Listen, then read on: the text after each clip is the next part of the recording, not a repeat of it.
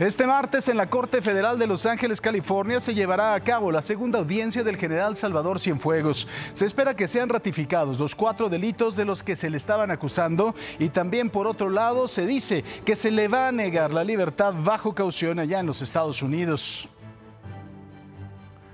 A tan solo unos días de que el INE otorgó el registro por mandato del Tribunal Electoral a los nuevos partidos, redes sociales progresistas y Fuerza Social por México, van a recibir 19.7 millones de pesos cada uno, nada más para lo que resta del año.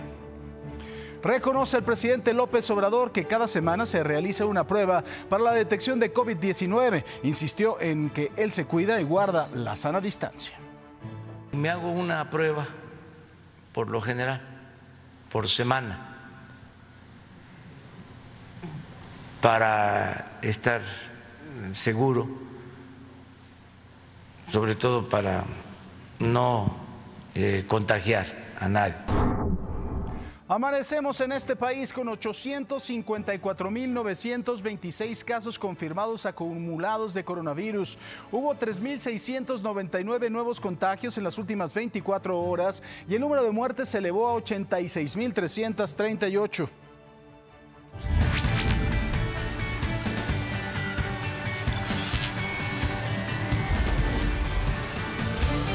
Y bueno, vamos a más información. La sensación de inseguridad entre la población de 18 años o más en las principales ciudades del país bajó 5.6% de marzo a septiembre de este año en comparación con dicho periodo del 2019. De acuerdo con la encuesta nacional de seguridad pública urbana del INEGI, la sensación de inseguridad fue mayor en las mujeres, mientras que en Ecatepec, en el Estado de México, se sigue sintiendo la mayor inseguridad con el 92.8%, seguida de Fresnillo en Zacatecas y Coatzacoalcos en Veracruz. La mañana de este lunes, debido al intenso olor a gasolina, vecinos de la colonia Nueva Industrial Vallejo, en la alcaldía de Azcapotzalco, denunciaron una toma clandestina de hidrocarburos que se encontraba al interior de un domicilio con el número 690. De acuerdo con personal de Pemex, la toma clandestina tenía una profundidad de dos metros y debido a que tenía una fuga es que se dio el fuerte olor a combustible. Al lugar también acudieron elementos de la Guardia Nacional. Sin embargo, no hubo personas detenidas. Continúa la toma de casetas y sin embargo en esta ocasión sí hubo exigencias, no solo boteo. Integrantes del colectivo México Vive, algunos de ellos encapuchados, tomaron la caseta de Tlalpan de la autopista México-Cuernavaca para exigir la libertad de presos políticos en el estado de Guerrero. Los manifestantes levantaron las plumas para dejar el paso libre a los automovilistas a cambio de una cooperación voluntaria. Ajá. La seguridad privada del lugar únicamente se limitó a observar. Mientras tanto, en Puebla, en la noche del domingo, elementos de la Guardia Nacional detuvieron en la caseta de peaje de Amozoca al activista e integrante del, colectivo libertario Zapata Vive, Kenia H., por el delito de robo. Kenia, quien fue llevada al penal de Almoloyita en el Estado de México, es la segunda mujer detenida por la toma de casetas. Cambiando de tema y tras reiterar que en el caso que se confirme que hubo una relación criminal entre el general Salvador Cienfuegos y el narcotraficante Francisco Patrón, alias el H2, no habrá protección a cómplices en México. El presidente López Obrador reprochó al gobierno estadounidense la actitud de no informar al gobierno mexicano sobre las indagatorias en contra del extitular de la Sedena con más tiempo. Durante su conferencia mañanera, López Obrador dijo que debido a que es un asunto muy delicado, él será el único vocero del caso Cienfuegos.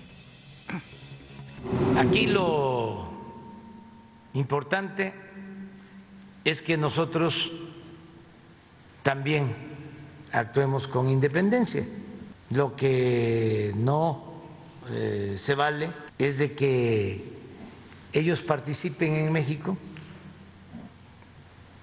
incluso se vinculen a instituciones de México, sacan información y resuelven sin eh, darle a conocer al gobierno de México lo que están este, investigando. La tarde de hoy en la Corte Federal de Los Ángeles, California, se llevará a cabo la segunda audiencia del general Salvador Cienfuegos. ¿Qué sigue? Bueno, se espera que hoy le sean ratificados los cuatro delitos que se le imputan. Tres de estos son por conspiración en la exportación a Estados Unidos de heroína, cocaína, metanfetaminas y marihuana, y el otro cargo es por lavado de dinero procedente de la venta de droga. El ex titular de la Sedena seguirá preso y lo más probable es que sea enviado a la Corte Federal de Brooklyn en Nueva York. Cabe recordar que la principal prueba en contra del general es una supuesta llamada que fue interceptada en la que se le escucha hablar con jefes de la agrupación criminal de los Beltrán Leiva.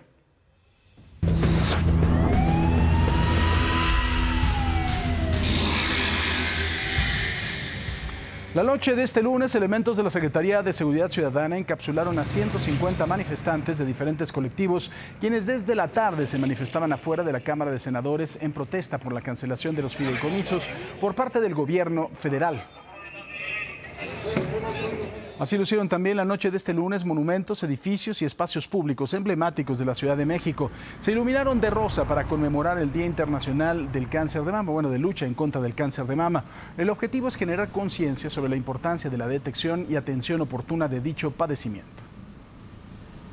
En más información, luego de que se confirmara que el almirante Rafael Ojeda, secretario de Marina, tuviera COVID-19, el presidente López Obrador admitió por primera vez desde que inició la pandemia que se somete a pruebas de detección del virus cada semana, por lo regular los martes. Lo dijo así.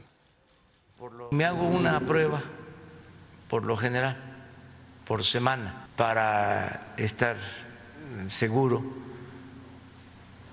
sobre todo para no eh, contagiar a nadie. Eh, por lo general eh, me hago la prueba los martes. Digamos que mañana se va, se, le tocaría. Mañana me corresponde.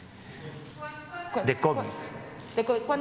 De, en promedio. Llevo como unas eh, seis, ocho. De todas formas. Este lunes desde un hotel en el centro histórico, debido a la presencia de manifestantes frente a la Cámara de Senadores y en menos de nueve minutos, la Comisión de Hacienda de la Cámara Alta aprobó en lo general el dictamen por el cual se extinguen 109 fideicomisos que darán al presupuesto más de 68.400 millones de pesos. Sin la presencia de los senadores de oposición y con el voto a favor de la legisladora Sacil de León de Encuentro Social, la bancada morenista avaló el dictamen. Pese a la rápida aprobación, Alejandro Armenta, presidente de la Comisión de Hacienda en el Senado, rechazó que se tratara de un madruguete, ya que aseguró hubo sensibilidad para todas las personas beneficiarias de estos fideicomisos que pedían que no desaparecieran. Sin embargo, debido a que no se alcanzó el quórum para discutir y someter a votación la propuesta en la Comisión de Estudios Legislativos segunda, aunque fue avalada en fast track por la Comisión de Hacienda, la eliminación sigue en el aire y no pasará al Pleno para su análisis y aprobación. Aquí lo que parece es que los senadores del PT, como prometieron, están poniendo el pie a esta extinción de los fideicomisos. Hay una legisladora que no puede asistir porque que está enferma y también una legisladora del PT que no está votando en favor de la extinción de los mismos. Cambiamos de tema, como si fuera el ave fénix. Parece que el PRI resurgió de sus cenizas y Morena sufrió un fuerte descalabro electoral, aunque el presidente diga que no. El domingo se votaron en Coahuila diputados locales en 16 distritos. Ya con el 100% de las actas capturadas, el Partido Revolucionario Institucional arrasó con las diputaciones al llevarse las 16, dejando el resto a los partidos en ceros. Mientras que en Hidalgo, en donde se renovaron las 84 alcaldías, la elección estuvo más reñida. De acuerdo con datos del programa preliminar Hidalgo 2020, el PRI ganó en 32 municipios, eh, seguido del PRD que obtuvo 7, también Morena habría ganado 6, el PAN 6, eh, bueno, PAN en alianza con el PRD 6 y el PAN solito habría ganado 5. Pues así están las cosas en las alcaldías de Hidalgo. Tras estas elecciones, en Morena reaccionaron de la siguiente manera. Alfonso Ramírez Cuellar, presidente interino del partido, desconoció los resultados que no favorecen a su partido. Porfirio Muñoz Ledo, aspirante a la presidencia, aseguró que las elecciones en Coahuila e Hidalgo constituyeron un serio revés para el partido, por lo que se necesita un partido sólido y organizado, mientras que Mario Delgado hasta el momento no ha opinado al respecto. Ayer en la Comisión de Hacienda de la Cámara de Diputados se inició la discusión del paquete fiscal para el 2021. Por la mañana los dirigentes de las ocho fracciones parlamentarias se reunieron en Palacio Nacional con Arturo Herrera, secretario de Hacienda, para revisar las observaciones de los legisladores. Durante el encuentro, Jorge Argüelles, coordinador de los diputados del partido Encuentro Social, detalló que el paquete económico debe de tener características de solidez para enfrentar el próximo año, por lo que de no ser posible no debe de haber nuevos impuestos. Adelantó que el PES solo apoyaría incrementos en materia de salud y seguridad áreas en donde la sociedad tiene más exigencias y más necesidades. Sobre el tema, también, bueno, precisamente en la Cámara de Diputados se avaló este lunes el paquete de ingresos con cambios en la Ley de Disciplina Financiera de las entidades federativas y el establecimiento de nuevos cobros en la Ley Federal de Derechos. Los cambios propuestos permitirán a las entidades y a los municipios redirigir los recursos presupuestados en materia de desastres naturales para la atención de emergencias sanitarias, además de actualizar las cuotas por diversos servicios, así como por el uso y aprovechamiento de bienes de la nación como el espectro radioeléctrico a fin de recaudar 42.267 millones de pesos. En más información, la Embajada de los Estados Unidos en México confirmó la extensión hasta el 21 de noviembre la restricción de cruces fronterizos no esenciales para disminuir el riesgo de contagios por coronavirus. Edgar Ramírez, agregado del Departamento de Seguridad Nacional en la Embajada estadounidense, reiteró que no es momento de ir de compras o de paseo o visitar a las familias del otro lado de la frontera.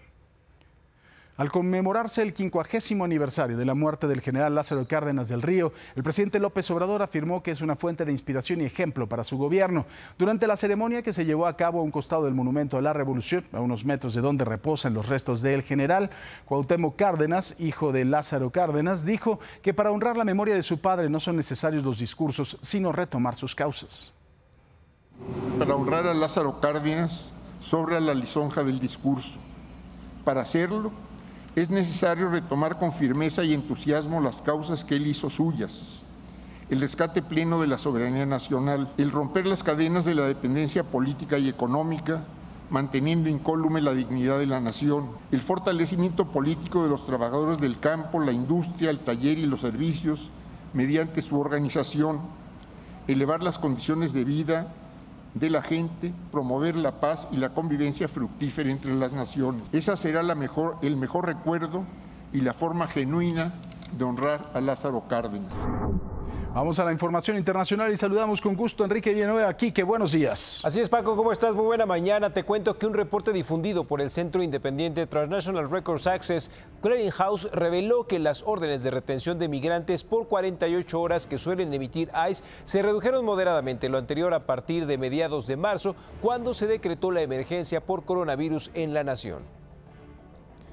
Y sigue la atención por el tema en Francia. Justo en este país, 15 personas permanecen detenidas en el marco de la investigación antiterrorista sobre el asesinato de un profesor en París. Entre los arrestados se encuentran cuatro estudiantes de secundaria. Según fuentes judiciales, estudiantes del colegio le señalaron al asesino del profesor tras recibir un pago por la información. El maestro fue decapitado tras recibir amenazas por mostrar caricaturas del profeta Mahoma en clase. Paco, un caso terrible en donde se está cuestionando la libertad de expresión, obviamente la libertad de cátedra, este profesor lo que hizo en la clase de ética y valores justamente para cuestionar la libertad de expresión, mostró las caricaturas del profeta Mahoma, incluso les dijo que algunos alumnos que tuvieran algún problema con ello podían salir de la clase, detonó un debate, incluso algunos pedían la destitución del profesor, recibieron amenazas, el profesor tuvo que cambiar sus rutas, pero no fue suficiente, un jovencito de 18 años lo apuñala y después lo decapita, sube las fotos en las redes sociales y ahorita obviamente es el boom de la explosión de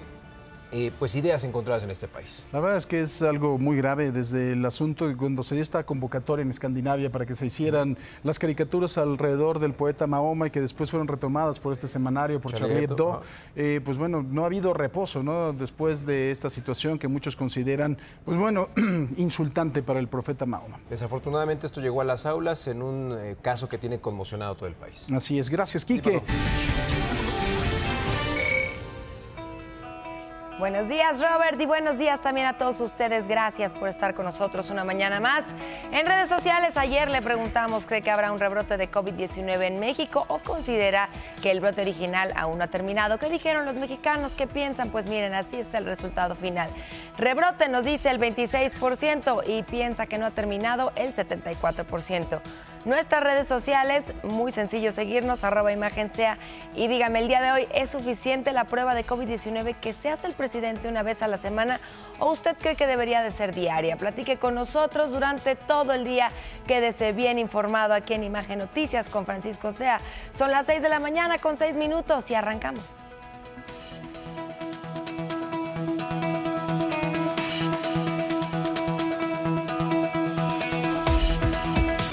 En Veracruz hay un grupo de menores que libra una suerte entre la violencia y el rezago. El crimen los dejó huérfanos y ahora luchan por poder estudiar. Triste por no tener las clases, aprender, porque no, este, no puedo aprender más, no puedo tener más, o sea, más conocimiento. Roberto a sus 11 años de edad estudia en sexto año de primaria, pero ante esta pandemia no siempre puede tomar sus clases en línea ni por otros medios ante la falta de recursos económicos. La misma situación la padecen su hermano Alex y la mayoría de los 25 niños que resultaron huérfanos tras la masacre en el bar Caballo Blanco hace más de un año en Coatzacoalcos, Veracruz. Pues yo soy de las personas que no puedo darme el lujo de pagar internet. ¿sí? O sea, si acaso consigo 50, hay que meterle 50, 100 pesos al teléfono para poder, este, porque como jalan los megas, ¿no? La videoconferencia es tardada.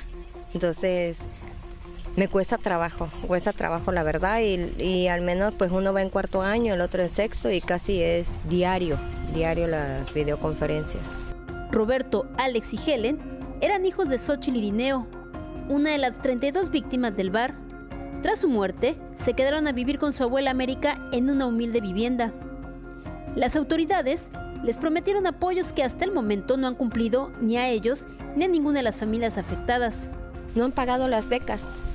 Hay personas que no les han dado, pero ni un apoyo. Servicio médico tenemos que buscarlo nosotros, pagarlo nosotros, ellos no. Derecho a vivienda digna tampoco. Dijeron que nos iban a apoyar con los de los programas de Cedesol, tampoco, a ninguno de nosotros. O sea, no hay nada del municipio menos. Por lo que solicitaron a la Comisión Nacional de Derechos Humanos su intervención para que les otorguen los apoyos prometidos, pero no han recibido respuesta. Y ante la falta de resultados de la investigación, enviaron un oficio al Procurador Federal de la República para pedir que se esclarezca cuanto antes y se dé con los responsables. Para imagen, Tamara Coro. Bueno, vamos a ver cómo avanza el coronavirus en México. De acuerdo con los datos reportados anoche por la Secretaría de Salud en México, ya tenemos 854.926 casos confirmados acumulados de COVID-19. Por supuesto, se presentaron 3.699 nuevos contagios en las últimas 24 horas. De este total, tenemos 623.494 personas recuperadas. 27.690 son los casos que están en activo en este momento. Ayer se sumaron 171 fallecimientos por el virus. Así, el número de muertes se eleva a 86.338 en total. Estamos hablando también, eh, por supuesto, que en nuestro país bajó de nueva cuenta la tasa de letalidad al 10%. La tasa de letalidad global es de 2.8%. Ayer las autoridades sanitarias informaron que hoy se hará una nueva evaluación del nivel de riesgo que existe en cada entidad para que los gobiernos tomen las decisiones pertinentes. Hacemos un llamado a la sociedad a tener presente lo que estamos diciendo en este momento, Estamos con signos tempranos de un repunte, de un rebrote, de una reactivación, de un cambio en la tendencia de la epidemia de COVID-19. No perdamos de vista lo que está ocurriendo en Europa, particularmente en los países de Europa Occidental. ¿Podríamos tener la misma situación? Sí. ¿Lo podemos atenuar o reducir el riesgo o reducir la intensidad de esa transmisión? También. En la conferencia vespertina de ayer se dio a conocer que, con base en los resultados preliminares del ensayo Solidaridad que la Organización Mundial de la Salud realizó en 30 países, se concluyó que el único medicamento que sirve para casos graves de COVID-19 es la dexametasona. En contraste, medicamentos como el remdesivir o la hidroxicloroquina son fármacos que tuvieron poco o nulo efecto para atender los casos de COVID-19. Especialistas de la Universidad Iberoamericana señalaron que la pandemia ha puesto a los migrantes irregulares en Estados Unidos, particularmente los de Nueva York, en un estado emocional crítico, lo que podría causarles afectaciones a nivel cognitivo e incluso físico. Explicaron que las causas de esta situación son la pérdida del empleo, la elevada tasa de contagios y el miedo a la enfermedad, sumado a que muchos de ellos no cuentan con servicios de salud. Con la finalidad de rendir un homenaje a los trabajadores de la salud e impulsar el arte urbano entre los jóvenes, el IMSS y el Instituto Mexicano de la Juventud abrieron la convocatoria para participar en la Embajada del Color, homenaje a las heroínas y héroes de blanco. La inscripción estará disponible en las páginas de ambas instituciones hasta el próximo 6 de noviembre. Podrán participar jóvenes de entre 18 y 29 años de edad, quienes deberán de presentar un proyecto de mural en honor a los trabajadores de la salud que han enfrentado esta pandemia. Más información internacional. Kike, adelante. Así es, Paco. La pandemia del coronavirus continúa golpeando diversos países en el mundo. Irlanda. El primer ministro, Michael Martin, anunció que toda la nación será reconfinada a partir de la medianoche del miércoles. La medida tendrá una duración de seis semanas, con el objetivo de enfrentar la pandemia. Francia. Brigitte Macron, primera dama del país, se ha sometido a cuarentena voluntaria durante siete días después de entrar en contacto con un enfermo de COVID-19. Además, el confinamiento regresó a París y varias ciudades conurbadas. Argentina. Más de un millón de casos registrados de coronavirus se han reportado en el territorio, de acuerdo con el Ministerio de Salud. Dicha situación convierte al país en el quinto del mundo en rebasar esa cifra. Brasil. Con 271 nuevas muertes por COVID-19, el número total de fallecimientos en el país llegó a 154.176, según datos del Ministerio de Salud. Continúa siendo el segundo país del mundo con más decesos por coronavirus detrás de Estados Unidos.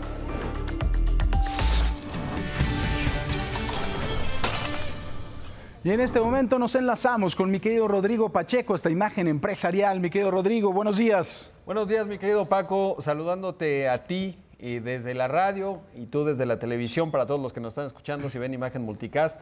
Y mi querido Paco, algo interesante, pues sin duda es lo que ayer comentó el presidente de la República en la conferencia en la mañana, y es que ya las empresas habrían pagado los grandes contribuyentes hasta 100 mil millones de pesos. Los únicos dos nombres que dio, aunque conocemos más, fueron Walmart y FEMSA, pero también está BBVA, está IBM, está Toyota y algunos otros. Y la verdad es que esto muestra, mi querido Paco, pues que la tesis eh, que sostiene la titular del SAT, eh, pues justamente ha tenido tracción porque eso ha permitido que no aumenten los impuestos y por otro lado, eh, pues exprimir, digamos, estos grandes contribuyentes, diciéndolo de manera coloquial, porque decía ella que son 11.900 grandes contribuyentes que aportan el 52% de los ingresos tributarios del país y pues apenas habían auditado a cerca de 600 empresas, así que tienen todavía un largo trecho por cosechar, mi querido Paco. Pues sí, es una buena noticia, mi querido Rodrigo, y también me da una buena noticia verte aquí en el estudio. Te mando un fuerte abrazo. Otro de vuelta, mi querido Paco. Gracias. Y ahora vamos a más información internacional, Quique. Oiga, y en más información, Estados Unidos acusó a seis antiguos y actuales oficiales militares rusos de tratar de infiltrar computadoras, lo anterior para desvirtuar las elecciones en Francia, las Olimpiadas de invierno y diversos negocios y hospitales estadounidenses, de acuerdo con el documento del Departamento de Justicia. Sin embargo, no acusan a los militares de tratar de interferir a las elecciones estadounidenses de 2016. Y ayer un sismo de magnitud 7.5 grados en la península de Alaska provocó alertas de tsunami para varias comunidades de la región. Además, el movimiento causó que algunas escuelas desalojaran a los estudiantes y los llevaran a terreno elevado. Cerca de dos horas después, la alerta fue degradada a un aviso luego de que se registrara solo una ola de 60 centímetros.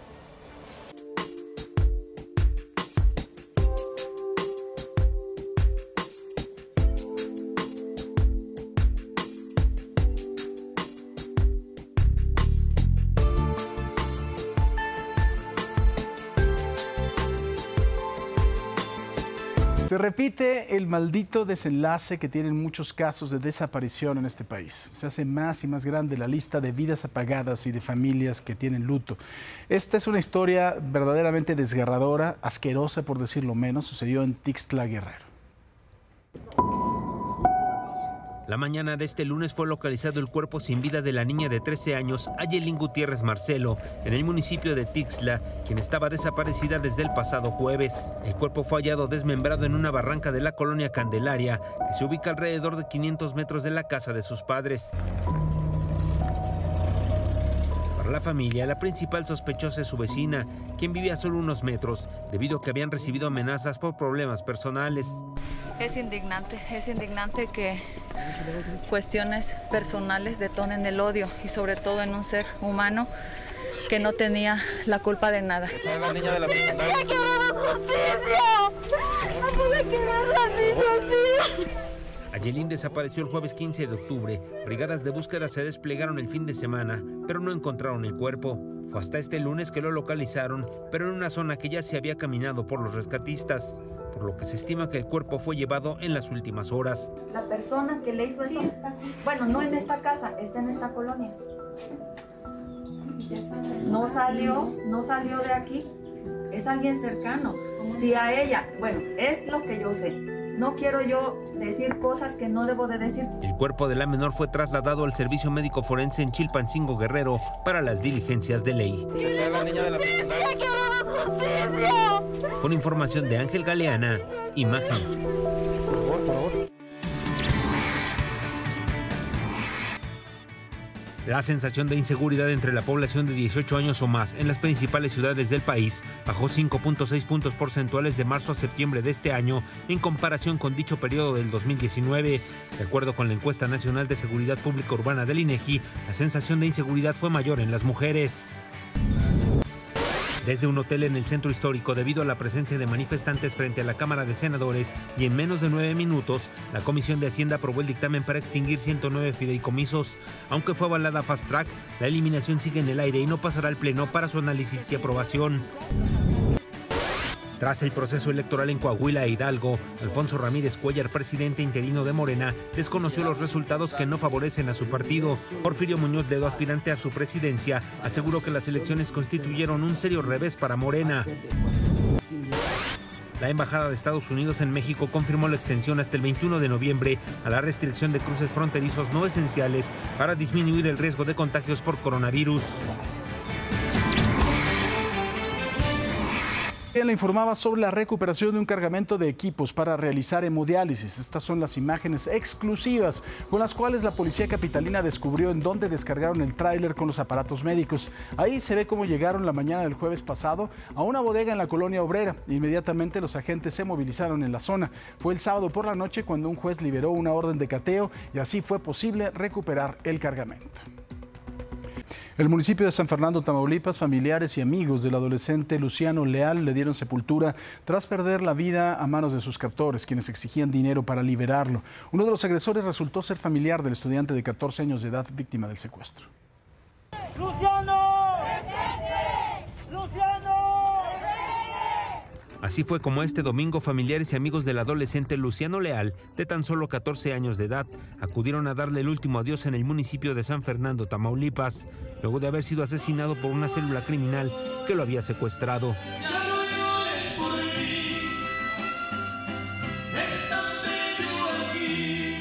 Punto de las 9.30 horas el cortejo salió de la funeraria en el centro de la ciudad y en la caja de su camioneta lo trasladaron al negocio de sus padres posteriormente a la iglesia donde acostumbraba acudir.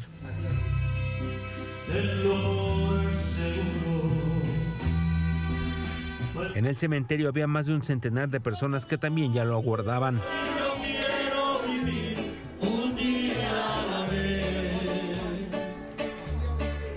Melodías de mariachi como Yo te extrañaré de Tercer Cielo, Un día a la vez y El dolor de una madre fue como finalmente depositaron los restos del adolescente. Leal Garza. Los acompañantes soltaron globos blancos al aire.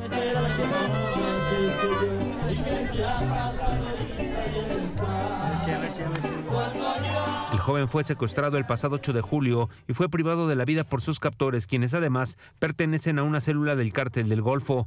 Por su liberación pedían dos millones de pesos y aunque la familia cumplió con una parte del trato, no recibieron al niño. Anabel Garza, madre de la víctima, realizó una investigación personal para dar con la identidad de los responsables, de cuyo caso dos de los principales sospechosos fueron detenidos. El primero es José Guadalupe F., jefe de la célula criminal que opera en San Fernando. Después fue detenido Eric Gamaliel, pariente cercano de la familia del secuestrado, y este último, quien confesó dónde estaba el cadáver del pequeño. Imagen. Otra vida más, otro sufrimiento innecesario más en este país. Así es, mi Robert, es momento de ver cómo va nuestra encuesta del día de hoy. Espero ya hayan participado. ¿Es suficiente la prueba de COVID-19 que se hace el presidente una vez a la semana o usted cree que debería ser diaria? ¿Qué han dicho los mexicanos semanalmente? Nos dice 55%, 45% restante opina que debería de hacérsela diaria. Bueno, pues vamos a ver nuestras redes sociales. Importantísimo que nos sigan en este momento, arroba imagen sea en Facebook, Instagram y por supuesto en Twitter. Es una puerta para que usted platique con nosotros y sea parte de este equipo. Así que en este momento síganos y estemos en contacto. Bueno, mientras le cuento, la Profeco informó que los productos, los productores de 13 de 25 productos a los que se les ordenó suspensión de comercialización por parte de la Secretaría de Economía han acreditado las correcciones requeridas para cumplir normas oficiales y regresan al mercado, señores. Explicaron que en los productos denominados como queso, los principales incumplimientos detectados son utilizar la leyenda 100% leche sin serlo y adicionar grasa vegetal para sustituir la leche que deberían contener en su elaboración. Así que tranquilos, dejen de hacer compras de pánico. Ahí están sus quesos que no son quesos.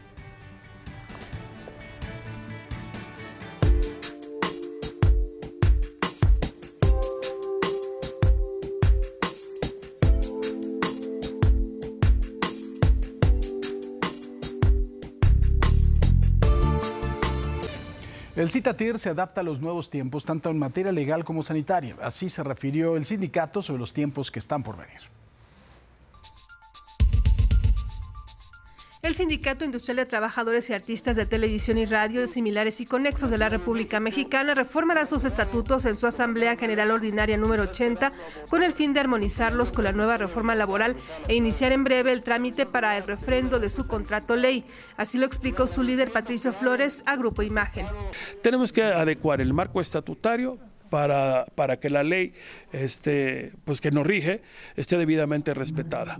Y, y, hablaremos también de la legitimación de contratos, que para nosotros el contrato ley de la industria de la radio y la televisión está, yo digo que está debidamente eh, registrado, está cubierto, está legitimado. El líder sindical presentó su informe de labores en el que comentó que de los 20 mil afiliados en todo el país, poco más de 200 perdieron su empleo y 28 han perdido la vida por los efectos del COVID-19. La mayoría de los decesos se presentó en la industria del cable, que tenía que mantener el trabajo en las calles y casas para dotar de Internet a todo el país. Explicó que tuvieron que platicar con algunos patrones para establecer medidas de higiene y proteger a los trabajadores de una industria prioritaria que no ha parado en toda la pandemia. Patricio Flores no auguró un buen futuro para la industria, pero explicó que con creatividad tratarán de que se detenga la pérdida de empleos en el sector. Ojalá y las autoridades verdaderamente eh, tomen conciencia de las cosas, que generen condiciones para que eh, las pymes y las micro y pequeñas y medianas industrias puedan sobrevivir. En el país son la mayoría y que a través de ellas la economía se pueda mover. Para imagen, Aurora Cepeda.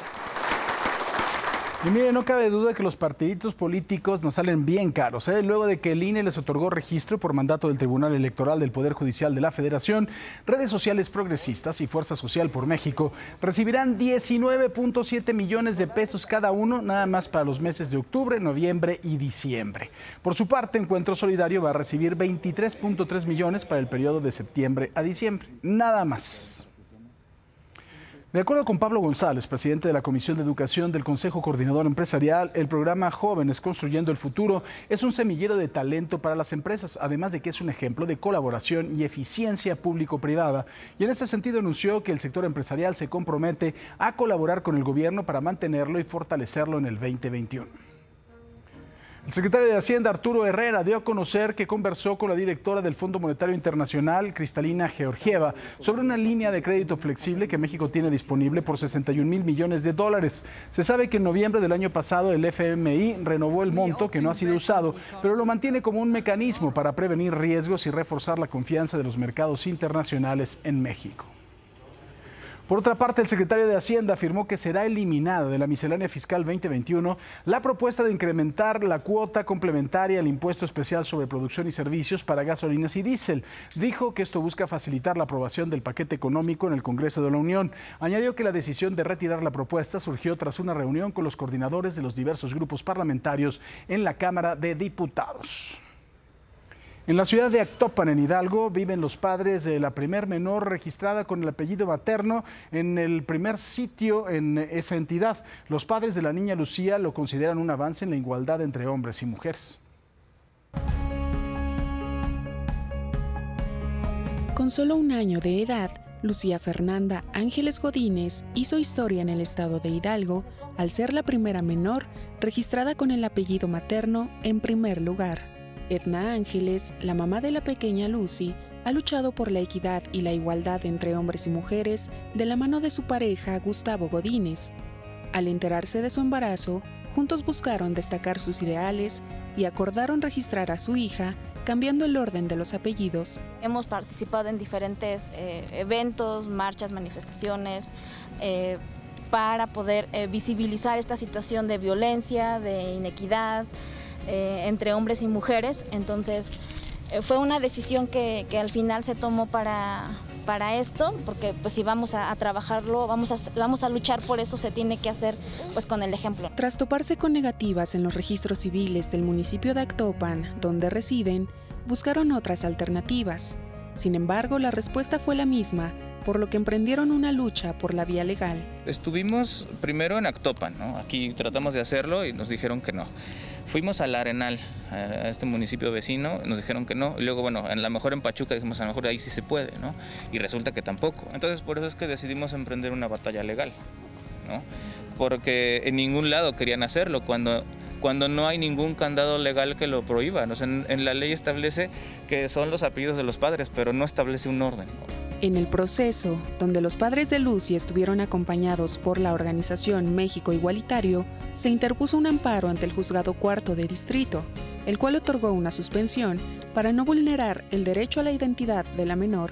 Fue una gran satisfacción, fue saber que estamos abriendo brecha para los que vienen para atrás, eh, reconocer a nuestras ancestras, o sea, empezamos a, picar piedra y empezamos a generar este, esta brecha, a, reducir esta brecha de inequidad que, existe entre, hombres y mujeres. Las mujeres eh, eh, históricamente son borradas de la historia, generalmente son borradas de la historia, y esto empieza desde sus nombres. Eh, los apellidos siempre son los de los, los de los varones. Pues nos da mucho gusto que nuestra hija sea la, que ahora inicia con esto en el Estado. Sabemos que hay ya este tipo de mecanismos en otros lugares de la República, pero tenemos conocimiento que en Hidalgo es la primera vez que ocurre. La legislatura del Congreso de Hidalgo recientemente aprobó las modificaciones a la Ley para la Familia del Estado de Hidalgo en su artículo 416 y 417 para que los padres que deseen registrar a sus hijos e hijas puedan decidir el orden de apellidos. Para imagen, Brenda Salas.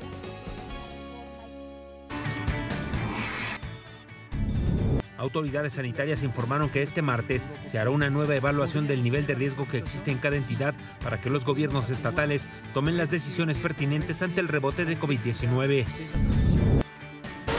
Con base en los resultados preliminares del ensayo Solidaridad que la Organización Mundial de la Salud realizó en 30 países, se concluyó que el único medicamento que sirve para casos graves de COVID-19 es la dexametasona.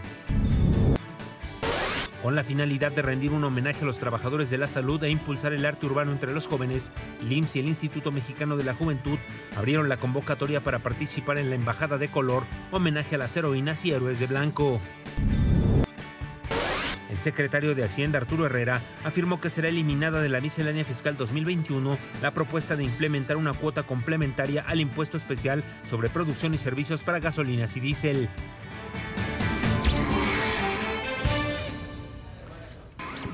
Los asistentes de este baile realizado en Aguascalientes, que contó con la aprobación de las autoridades, olvidaron todas las medidas sanitarias ante la pandemia. Solo estaba permitido bailar alrededor de las mesas que tenían sana distancia, pero al final todo el mundo terminó aglomerado. Muy pocos usaban cubrebocas y hasta de cachetito se vio bailar algunas parejas. Bueno, si es la pareja con la que vive y eso, pues está bien, ¿no? Pero si no, pues qué, la verdad es que qué peligroso.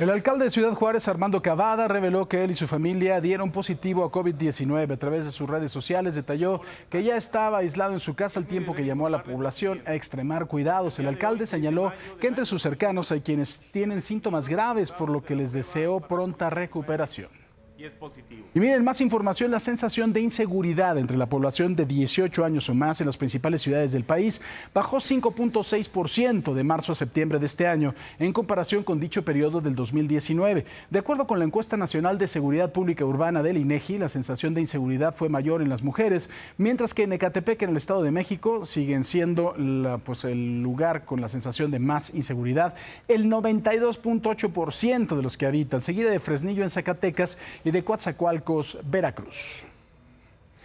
En la mañana de este lunes, debido al intenso olor a gasolina, vecinos de la colonia Nueva Industrial Vallejo, en la alcaldía de Azcapotzalco, denunciaron una toma clandestina de hidrocarburos que se encontraba al interior de un domicilio con el número 690.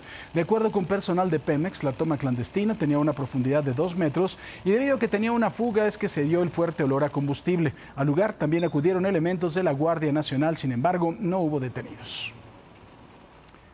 Y bueno, continúa la toma de casetas. Sin embargo, en esta ocasión sí hubo exigencias y no solo boteo. Integrantes del colectivo México Vive, algunos de ellos encapuchados, tomaron la caseta de Tlalpan de la autopista México-Cuernavaca para exigir, exigir la libertad de presos políticos en el estado de Guerrero. Los manifestantes levantaron las plumas para dejar el paso libre a los automovilistas a cambio de una cooperación voluntaria. La seguridad privada del lugar únicamente se limitó a observar.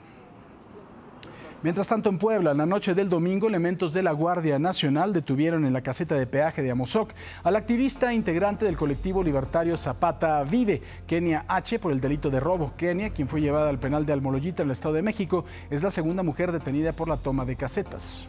¿Le parece? Vamos a las calles de la Ciudad de México con mi compañero Jorge González. ¿En dónde estás, mi querido Jorge? Buenos días.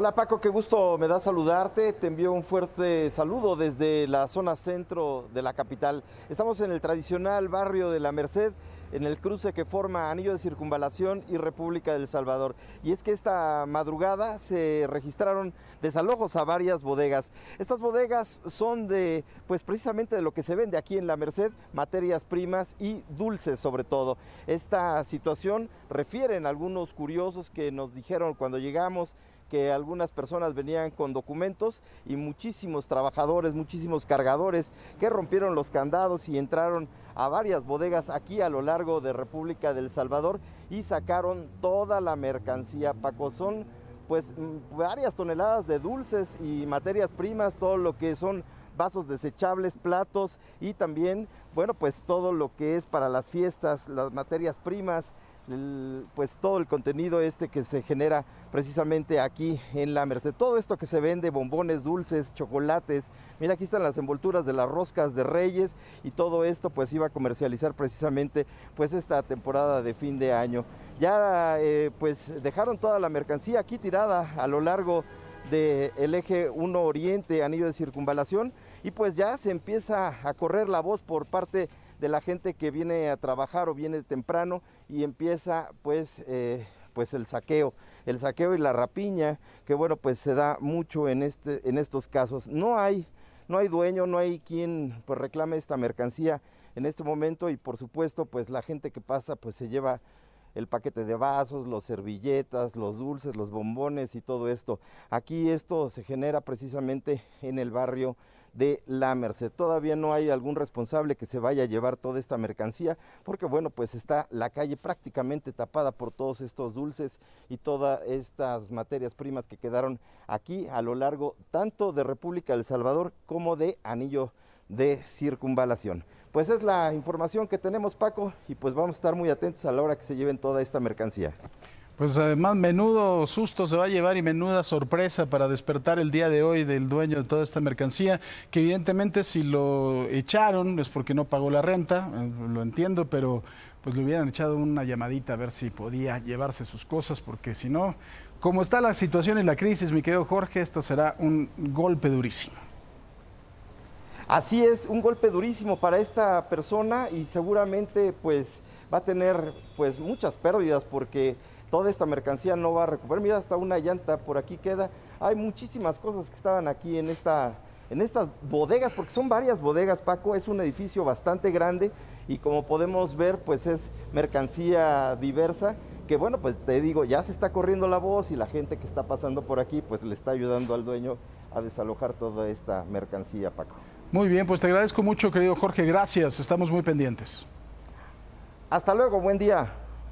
Buen día y bueno, cambiamos de tema. Tras reiterar que en el caso de que se confirme que hubo una relación criminal entre el general Salvador Cienfuegos y el narcotraficante Francisco Patrón, alias el H2, no habrá protección a cómplices en México. El presidente López Obrador reprochó al gobierno estadounidense la actitud de no informar al gobierno mexicano sobre las indagatorias en contra del extitular de la Sedena con más tiempo. Durante su conferencia mañanera, López Obrador dijo que debido a que es un asunto muy delicado, él será el único vocero en este caso. Aquí lo importante es que nosotros también actuemos con independencia. Lo que no eh, se vale es de que ellos participen en México, incluso se vinculen a instituciones de México, sacan información y resuelven sin eh, darle a conocer al gobierno de México lo que están este, investigando. Precisamente la tarde de hoy en la Corte Federal de Los Ángeles, California, se llevará a cabo la segunda audiencia del general Salvador Cienfuegos. ¿Qué sigue? Bueno, se espera que hoy le sean ratificados los cuatro delitos de los que se le acusa. Tres de estos son por conspiración en la exportación a Estados Unidos de heroína, cocaína, metanfetaminas, marihuana y el otro cargo es por lavado de dinero procedente de la venta de droga. El ex titular de la Sedena seguirá preso y lo más probable es que sea enviado a la Corte Federal de Brooklyn en Nueva York. Cabe recordar que la principal prueba en contra del general es una supuesta llamada que fue interceptada en la que se le escucha hablar con jefes de la agrupación criminal de los Beltrán Leiva. Ayer le informamos sobre la recuperación de un cargamento de equipos para realizar hemodiálisis. Estas son imágenes exclusivas con las cuales la policía capitalina descubrió en dónde se descargaron el tráiler con los aparatos médicos. Ahí se ve cómo llegaron la mañana del jueves pasado a una bodega en la colonia obrera. Inmediatamente los agentes se movilizaron en la zona. Fue el sábado por la noche cuando un juez libró una orden de cateo y así fue posible recuperar el cargamento. Sobre el robo de miles de medicamentos oncológicos para menores, ya hay dos hombres detenidos por estos hechos. Estas son las imágenes también que permitieron su captura.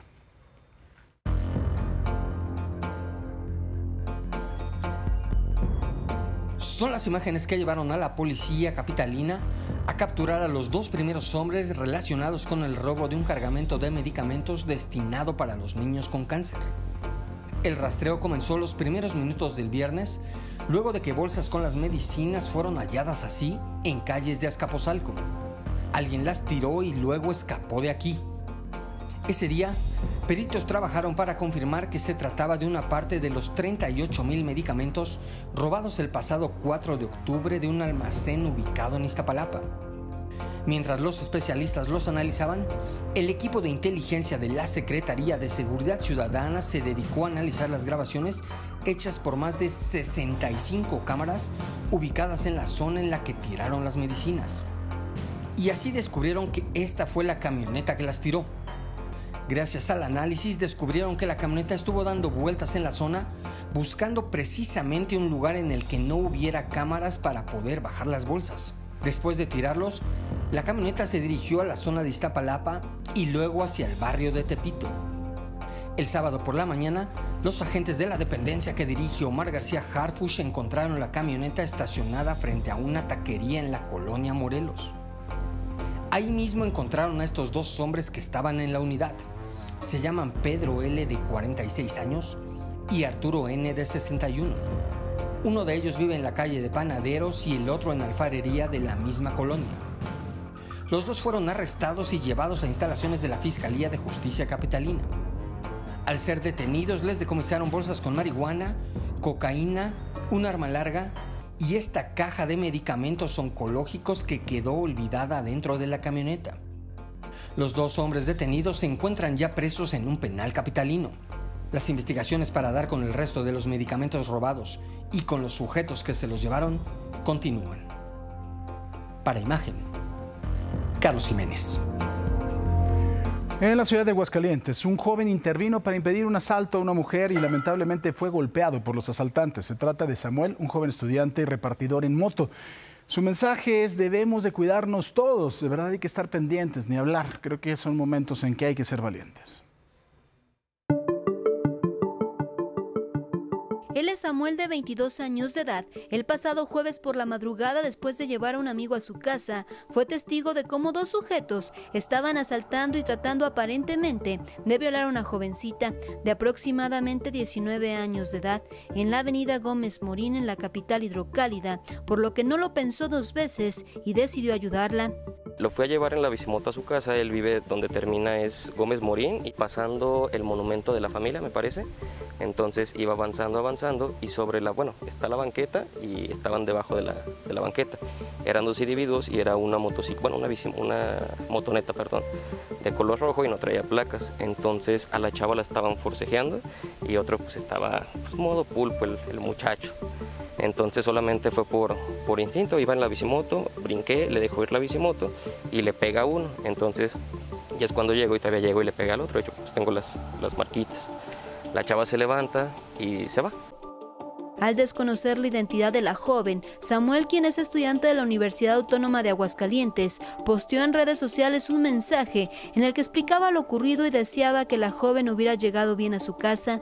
Miles y comentarios y todo. Entonces, pues dije, ah, qué buena onda. De hecho, hasta eso em, me empezaron a llegar varios mensajes, como de, ah, pues mira, yo soy la chava, que esto, que el otro. Pero pues sí, sí fueron varios. Entonces, si sean o no sean, pues lo que yo siento que pues, estuvo bien la, la acción, porque así como pudo haber sido una chava, pues puede ser alguien de mi familia. Gracias a que se hizo viral, una dentista se enteró del acto y le arregló su diente sin ningún costo. Pero no solo eso, tuvo toda una serie de ofrecimientos como clases gratuitas de boxeo. Esta no es la primera vez que Samuel ayuda a una mujer que es víctima de violencia. Me llena de orgullo, pero este, también hay sentimientos encontrados, porque también en otra ocasión, hace unos cuatro meses también, también este, por defender a otra señorita, también este, estuvo muy, muy malito. De hecho, tuvo que verlo la retinóloga dos veces. No es la primera vez que lo hace. Eh, es un orgullo, como le digo, pero es, ahora sí es como una arma de dos filos, ¿verdad? Eh, y, en realidad, pues se lo debe es, eh, ¿cómo le diré? Esa educación de defenderlo esto a, mi, a señor en paz descanse, porque él también no le gustaban las injusticias de nada. Durante la mañana, Samuel está en un despacho con su hermana, quien es abogada, y en las tardes estudia. En sus horas libres, utilizaba la bicimoto porque es repartidor, pero ahora ya no cuenta con la misma después de lo sucedido, pero tiene la esperanza de que pronto pueda repararla. Para imagen, Carla Méndez. Y mire, le cuento, esto ha causado revuelo en todo el mundo. Mark Bryan, padre y esposo heterosexual originario de Alemania, se popularizó en Instagram al compartir fotografías de sus outfits con falda y zapatillas.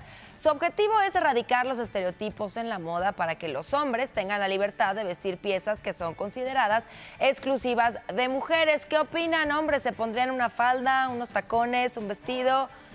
¿Sí? Mañana Robert se viene de faldita y shortcito con taconcito. Bueno, pues cada quien habrá. cada quien habrá quien le. Mira, aparte maneja buena pierna y buen este cabuz y todo. Hacemos una pausa. Regresamos con más información.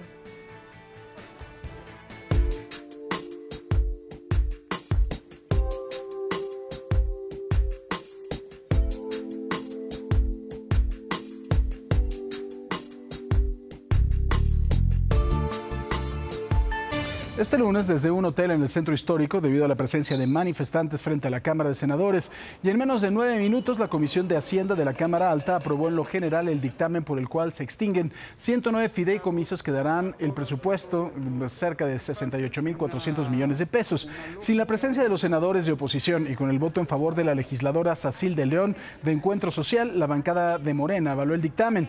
Pese a la rápida aprobación, Alejandro Armenta, presidente de la Comisión de Hacienda en el Senado, rechazó que se trata de un madruguete, ya que aseguró hubo sensibilidad para todas las personas beneficiarias de estos fideicomisos que pedían que no desaparecieran. Sin embargo, debido a que no se alcanzó el quórum para discutir y someter a votación la propuesta en la Comisión de Estudios Legislativos Segunda, aunque fue avalada en fast track por la Comisión de Hacienda, la eliminación sigue en el aire y no pasará al Pleno para su análisis y aprobación. Vamos a las calles de la Ciudad de México ahora con mi compañero Talo Mata, allá fuera del Senado de la República. Talo, ¿cómo estás? ¿Cómo estás, Paco? Muy buenos días. Pues ahora sí, los grupos de manifestantes les ganaron a los senadores y a todos los empleados que trabajan dentro de este recinto legislativo aquí en Paseo de la Reforma. Y eh, Karim Hamed nos muestra todavía eh, las tiendas de campaña.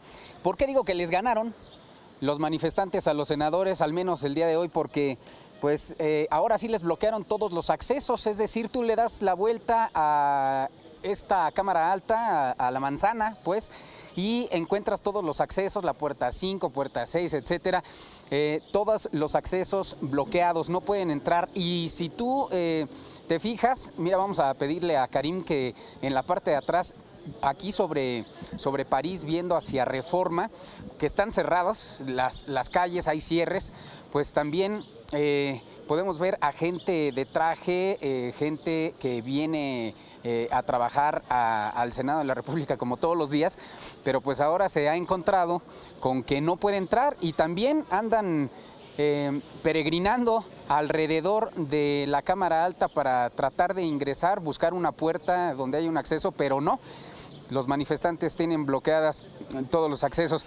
Y se dice que en algún momento podría venir eh, eh, un grupo de anarquistas para tratar de sumarse a estas manifestaciones de desplazados, de eh, gente víctima de la violencia, de desaparecidos también, y pues lo que se busca precisamente es que no haya violencia, pero anoche a las 11 de la noche llegaron algunos granaderos pero se retiraron en el transcurso de la madrugada, ¿verdad? Muy buenos días.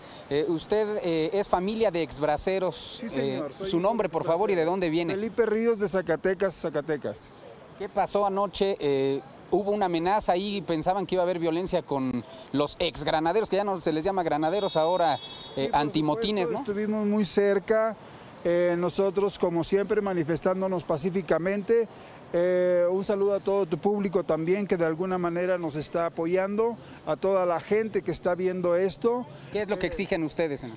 Eh, fundamentalmente estamos en contra de la abrogación de la ley que administra el fideicomiso de ayuda a los exbraceros, fundamentalmente, pero estamos en contra de la desaparición de todos los eh, fideicomisos sin antes una revisión puntual, sin antes ver cada, cada caso que que amerita, eh, eh, ¿qué procede? Pues? ¿No van a dejar entrar entonces a los senadores ni a los empleados del Senado hoy? Por supuesto, por supuesto que no, las puertas están bloqueadas hasta que tengamos una, un acercamiento, una respuesta positiva. Ya es tiempo de que resuelvan, ya es tiempo, se han hecho muchas promesas, se han elaborado muchas... Eh, eh, promesas y no, no, no ha habido ninguna respuesta positiva que satisfaga en lo más mínimo nuestro recorrimiento, nuestras solicitudes. Muy bien. Le agradezco mucho, señor. A tus órdenes. Muy buenos días. Lo que van a tener que hacer, Paco, porque hemos visto a varios senadores, incluso Daniel Gutiérrez Castorena, morenista, pero hemos visto a varios senadores y senadoras que han querido entrar aquí a esta Cámara Alta, a esta sede legislativa y eh, precisamente porque pues se atoró, ya lo explicabas tú también, se atoró en comisiones esta, esta aprobación de, la desaparición de los fideicomisos y lo que van a tener que hacer en algún momento dado, viendo las circunstancias aquí, es que los senadores se vayan a una sede alterna, algún hotel cercano eh, por aquí para poder sesionar. Hoy es día de sesionar y tienen pendientes precisamente aprobar o no esta desaparición de los fideicomisos que como sabemos se atoró ahí en las comisiones por alguna división entre morenistas y petistas. Es la información que te tengo aquí en el Senado de la República. La que te aprecio mucho. Gracias, querido Talo. Hasta luego, Paco. Y miren, más información. Luego de que se confirmara que el almirante Rafael Ojeda, secretario de Marina, tuviera COVID-19, el presidente López Obrador admitió por primera vez desde que inició la pandemia que se somete a pruebas de detección del virus cada semana, por lo regular los martes, lo dijo así. Me hago una prueba, por lo general, por semana, para estar seguro, sobre todo para no eh, contagiar a nadie. Eh, por lo general eh, me hago la prueba los martes. Digamos que mañana se va, se, se Sí. le tocaría. Mañana me corresponde. De COVID. ¿De des- en promedio Llevo cuántas? como unas eh, seis, ocho, de todas formas. Y vamos ahora al tema electoral. Como el ave fénix, eh, parece que el PRI resurgió de las cenizas y Morena sufrió un fuerte descalabro electoral. El domingo se votaron en Coahuila diputados locales en 16 distritos. Ya con el 100% de las actas capturadas, el Partido Revolucionario Institucional arrasó con las diputaciones al llevarse las 16, dejando al resto de los partidos en ceros. Aquí, mire, hay varias lecturas también. Por supuesto, es una, es, es una derrota para Morena muy importante. Dice el presidente que no, que es un triunfo para la democracia, sin duda, pero creo que, pues bueno, Morena eh, se venció a sí mismo. ¿no? Morena, fi- finalmente, con los relajos que traen internamente, creo que es un partido que en este momento es complicado que pueda ser muy, pues, eh, pues, que pueda competir, que pueda ser muy competitivo en las elecciones. ¿Cuál es el caso de Hidalgo? En Hidalgo se renovaron 84 alcaldías. La elección estuvo un poquito más reñida, pero tampoco gran cosa. ¿eh?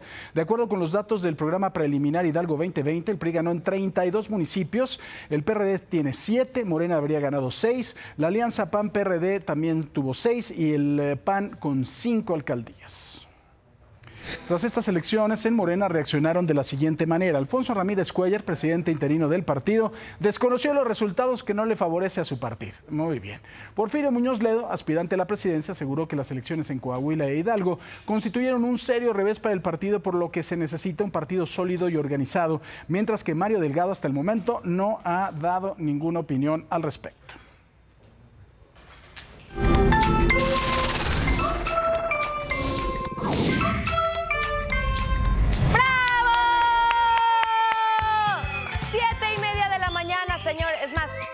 Con 31 minutos. Que no se le haga tarde. Arriba esa actitud. Hoy amanecemos en la Plaza de Armas allá en Querétaro. Ay, mi Querétaro precioso, tíos.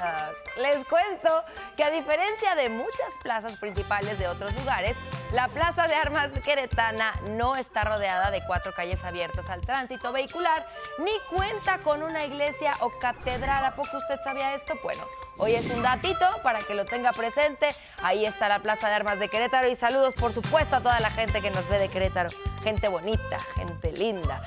Sí, vamos a ver también nuestros amaneceres que nos envían nuestros queridos tuiteros mañaneros. Mire, este nos lo manda Sandra Eva Lomelí y nos dice, así amanece en Lago de Chapala por Cuitzeo, Jalisco, México, muy cerca de Ocotlán. Muchas gracias, ahí lo tienen.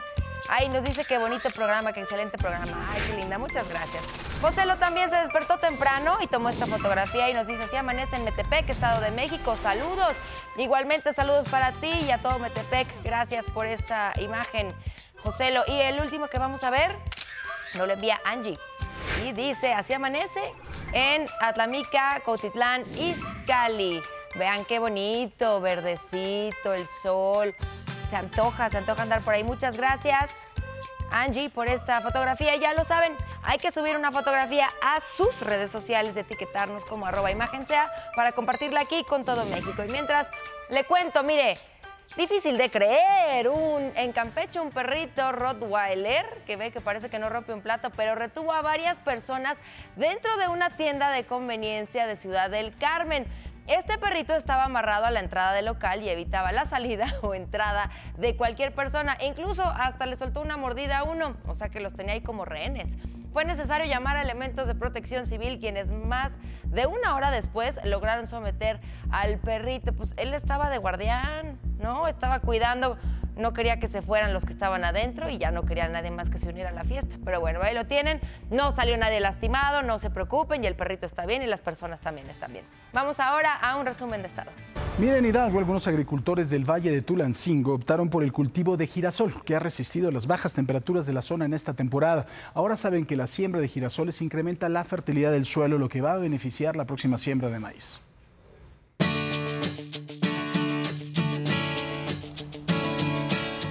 Podemos ver esta planta, el girasol, es una planta muy fuerte, tiene una, caña muy, muy potente, muy leñosa, pero especialmente es interesante su raíz. De aquí, de esta parte central, saldría la prolongación del tallo, que es un eh, eh, sistema radicular muy fuerte, y estas raíces adventicias que le dan sustentación y es lo que le da la mejora en el suelo como característica esta planta. El Valle de Tulancingo en el estado de Hidalgo abrió paso a los cultivos rotativos. Los campos de maíz cambiaron por plantíos de girasoles para incrementar la fertilidad del suelo y aumentar el rendimiento de los siguientes sembradíos. Hoy día estamos teniendo heladas muy tempranas y estamos teniendo una baja acumulación de agua durante, durante el ciclo agrícola. Entonces este, este cultivo ahorita está adaptándose a estos cambios y nos está ayudando bastante para que el productor realmente se vuelva rentable y se vuelva, se vuelva rentable en sus unidades de producción. El girasol es una planta resistente que necesita poca agua para crecer y se adapta fácilmente a casi cualquier tipo de suelo. En la comunidad de La Lagunilla se establecieron 5 hectáreas a una altura de más de 2.400 metros sobre el nivel del mar y la producción está a punto de cumplir su ciclo. ha funcionado, el cultivo se ha desarrollado muy bien. Eh, en estos últimos cuatro días hemos tenido bajas temperaturas, hemos tenido heladas y el cultivo, como podemos ver, no ha sido afectado, ¿no? Eh, veíamos hace un rato a la distancia algunos cultivos de maíz que las hojas se les ven quemadas. Obviamente, efecto de la helada. El girasol está soportándolo bastante bien.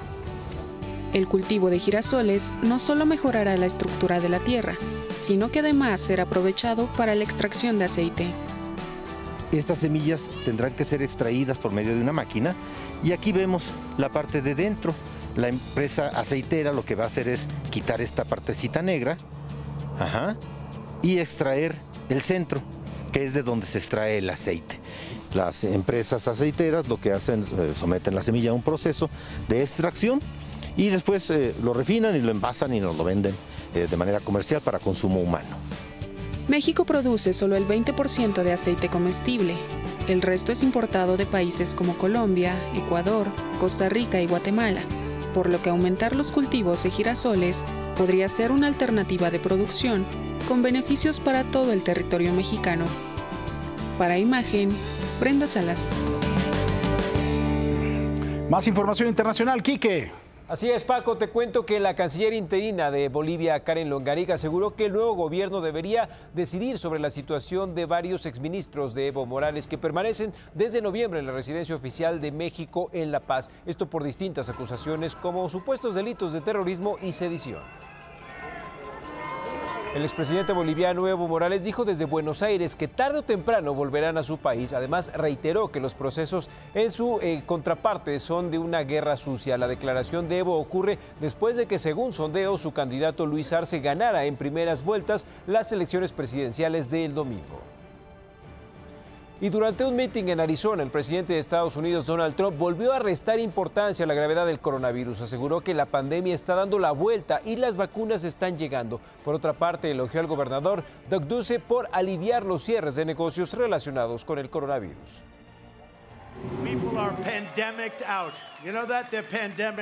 Ustedes saben que su pandemia ha terminado, por eso es tan bueno lo que han hecho. Han abierto su estado, lo están haciendo muy bien, fuimos pioneros en vivo y por cierto, lo entienden, ¿saben? Como digo, aquí estoy, estoy aquí, estoy ahora, soy inmune. Puedo saltar a esta audiencia y besar a todos los hombres y mujeres. Soy inmune, ¿verdad?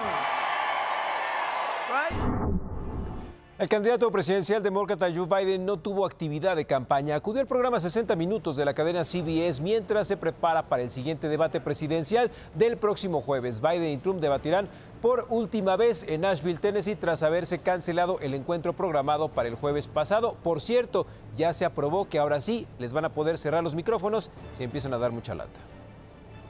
Y mire, semanas antes de las elecciones presidenciales de Estados Unidos, el país registra un número histórico de votos adelantados. Esto pese a los temores por la influencia de la pandemia del coronavirus que pueda tener sobre los comicios. Después de hacer filas kilométricas y esperar hasta 11 horas, más de 22 millones de personas ya han ejercido su voto. La, democracia, la demócrata Kamala Harris, candidata a la vicepresidencia estadounidense, regresó a la campaña electoral, esto después de una breve ausencia tras haber estado en contacto con personal de su equipo que dieron positivo al coronavirus. Harris inició su regreso con un par de manifestaciones de autos en Florida donde criticó a Donald Trump. Joe Biden Joe Biden ha estado luchando por los trabajadores toda su vida y por otro lado está Donald Trump, quien ahora mismo con su hijo Bill Barr está en la Corte Suprema de los Estados Unidos tratando de demandar contra la ley de cuidado de salud a bajo precio. Y si tienen éxito, eliminarán la cobertura que llegó a más de 20 millones de personas. Los principales líderes militares de Estados Unidos recibieron autorización para regresar a trabajar en el Pentágono luego de haberse puesto en confinamiento como medida de precaución y es que uno de los altos funcionarios de la Guardia Costera resultó positivo a COVID-19. La semana pasada se avaló el regreso del personal al Pentágono.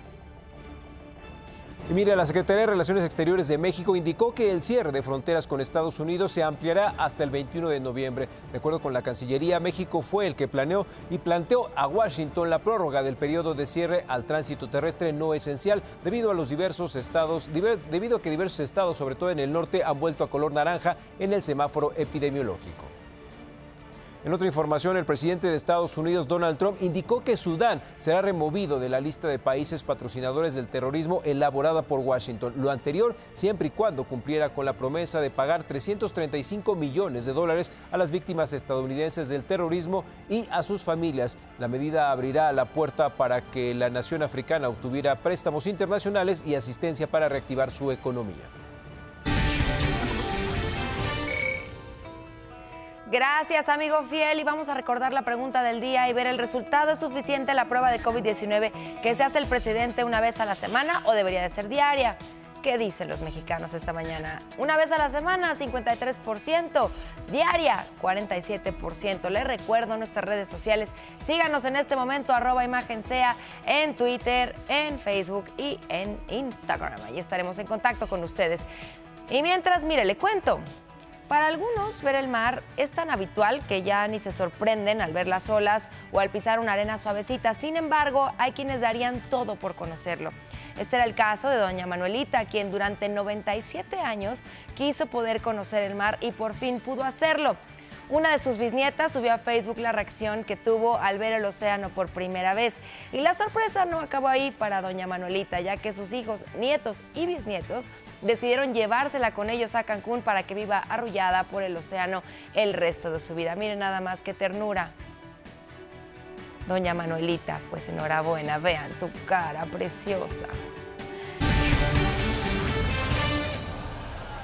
Muchas gracias Paco. Seguramente muchos de ustedes ya están hasta el gorro del tema del coronavirus. Si estoy en lo cierto, tienen toda la razón al experimentar este sentimiento. De hecho, la Organización Mundial de la Salud estima que alrededor del 50% de la población en el mundo está experimentando algo llamado fatiga pandémica, una acción que está reemplazando al miedo del inicio de la pandemia por una peligrosa fatiga que nos está llevando a bajar la guardia. Conforme pasan las semanas, hemos visto que las precauciones que pensábamos serían cosas de días se han convertido en nuestra cotidianidad, al menos en el sector responsable de la sociedad, pues nunca falta a quien le ha valido el virus desde el primer día. Pero bueno, este hartazgo pandémico está llevando a muchos a arriesgarse a los peligros del COVID por el deseo de tener su vida de regreso o ante la necesidad de no poder seguir guardados por una economía que debe ponerse a trabajar, pero no de la forma en que estábamos acostumbrados, pues las consecuencias parecen ser peores. En estos últimos días hemos visto cómo Europa pasa por su segunda ola de contagios, en algunos países con escenarios igual o peores que la primera vez, hospitales desbordados, colapsos en distintos sectores y más muertes ante gobiernos que en algunos casos han tenido que recurrir a los toques de queda para minimizar el mal.